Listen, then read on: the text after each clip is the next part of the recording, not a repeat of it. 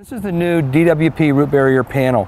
This is a modified CP panel which comes with vented deep watering slots which actually puts water aeration directly to the root ball zone through the vents in the deep watering tubes which are attached to the panel. As you can see these are simply attached.